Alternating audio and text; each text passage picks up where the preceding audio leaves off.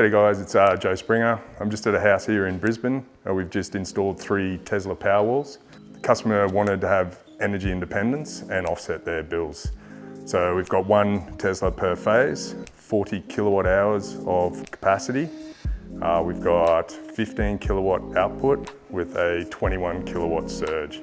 This system is coupled with a Enphase solar system so that when a grid goes down, we can keep one of the phases of that Enphase system active and be able to charge, charge the battery um, when there's a blackout. So that happens all seamlessly back up the priority circuits in the house. So there's complete energy independence here. So with the Tesla Powerwalls, um, there's a couple of EV uh, cars here. So we can actually use an app, Charge HQ.